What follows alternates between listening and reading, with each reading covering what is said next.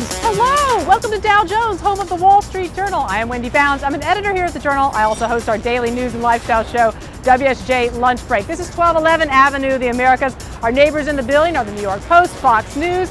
Let me take you inside.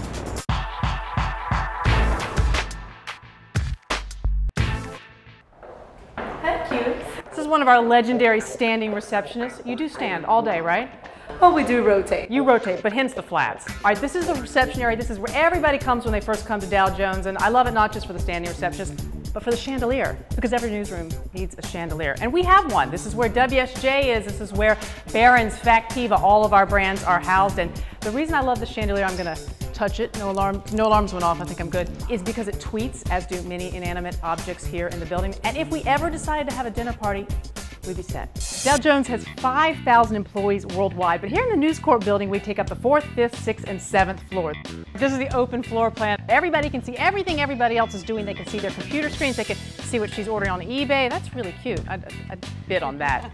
Right. Lex, our CEO, he sits right over there, and it's no uh, accident that he sits in the middle of the customer service department. He even likes to take phone calls himself sometimes.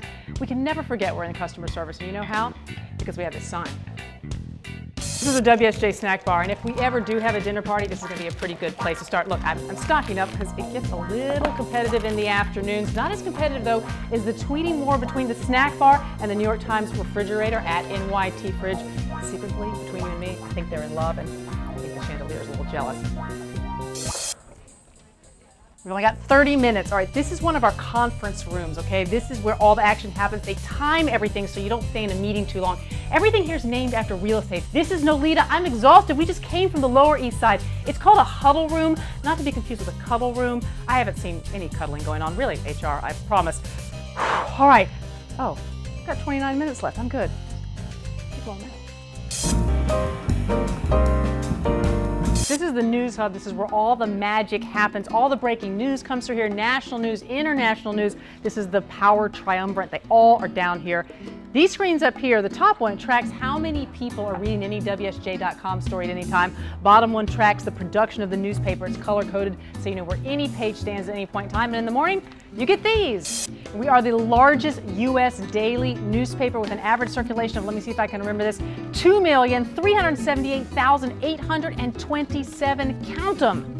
Let's go see where I film lunch break, right over there. It's Thursday, May 30th, 2013. Welcome to Lunch Break. I'm Wendy Bounds. Today we are filming Cubes. Hi guys. This is our set. Six cameras. We've got all our guests. They come up here. Teleprompter, return feed. This is our Pulitzer Prize wall. Now you'll often see a lot of the new reporters, the young reporters, kind of coming along here and sort of dreaming. Maybe one day. The Wall Street Journal was very proud to win its 35th Pulitzer just recently. Went to Bret Stephens for commentary.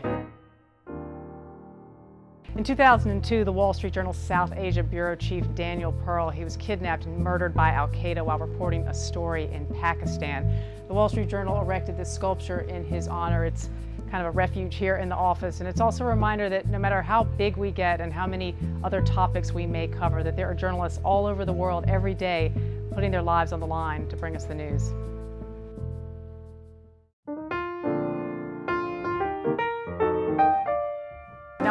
Fact about this staircase, it was actually used in the filming of the movie The Devil Wears Prada.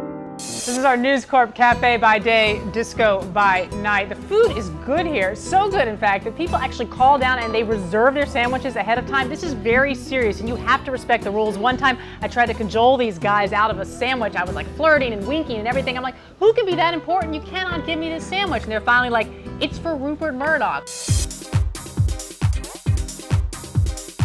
Now, how many tweets did you send out in the last hour? Come on, tell the truth.